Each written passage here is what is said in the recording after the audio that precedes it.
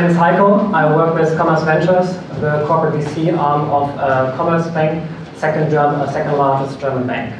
Um, so uh, thank you for having me here. I'm very proud to tell you in the next five minutes uh, a bit why CommerzVentures more or less provide the best of both worlds, of corporate venture capital and of, let's say, classical venture capital.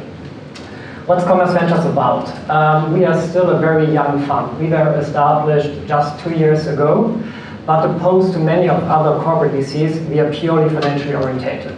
So let's say the same alignment of interest with most of the companies, especially with those we would like to invest in. Uh, we are very independent from the bank. The senior team, we invest our own money alongside of CommerzVentures in each and every investment uh, clear GPL structure, so same structure than what you would expect from any other VC. We invest purely, it belongs to our, let's say, DNA with Commerzbank as DLP, we invest purely in financial tech companies and insurance tech companies um, in the growth stage and the early stage. But at least we expect some kind of, let's say, indications of product market fit, i.e. the companies have been able to, to sell the product repeatedly, so some revenues have been generated. Um, we invest mainly in Europe because this is also the focus of Commerzbank, but we invest also outside of Europe in Israel and in the USA, but only in companies who more or less are a bit more mature, so rather in the growth stage, and now are looking for the next step, i.e. expanding to Europe, where then we can support. Uh, what are we looking for when it comes to, to companies or entrepreneurs? So uh, you have heard it uh, before in today's pitches. Of course, we are looking for passionate, enthusiastic entrepreneurs who would like to build a big company, have a great solution, which is optimally um, some kind of game-changing solution, uh, and have some kind of uh, un uh, unfair advantage here. Um, this is more or less what we are looking for. Um, our minimum investment ticket is around 2 million, and for the initial investment up to 7, 8 million, reflects more or less our early stage, growth stage passion. And uh, but we have enough, let's say, firepower for the follow-on round, so we can support you over the long run with investments. Uh, but more importantly to you, how can we help you? What is more or less so special about us?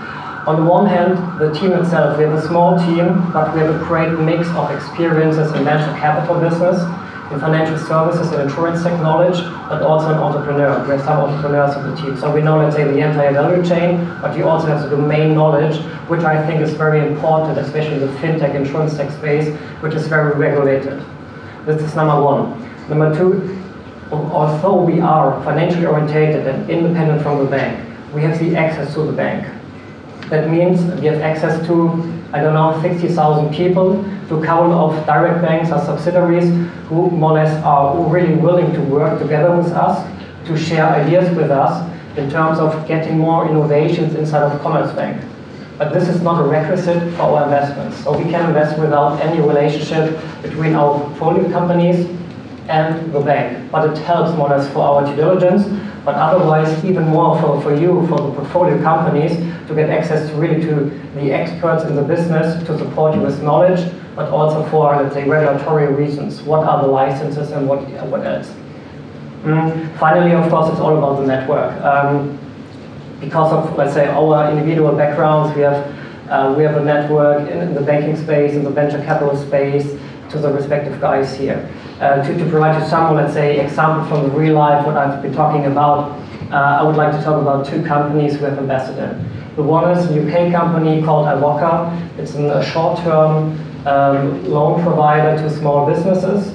Um, everything is digital, so classical model here. Most of the German banks uh, told us in our due diligence, we can do it in theory, but it's very slow and very expensive and totally offline. So and this is also, this and was true for Commerzbank. But now Commerzbank is in deep discussions with, with iwoca, thinking about leveraging iwoca's solution platform in Germany for Commerzbank clients. Second company, uh, Marqeta. Marqeta is an US-based company in the card processing space. Um, they plan to, at some point in the near future, to expand to Europe based on the business. And uh, but Uh, Europe is totally different for the regulatory reasons in the payment space than the US is. So we had a workshop with a lot of people at Commerzbank from IT, operations, business side, compliance, and so on and so forth, and also with the experts at the bank. and in our personal network for the respective payment providers in Europe to really help Marqeta with the idea what they need to do if they plan to export to Europe. Thank you, that's it.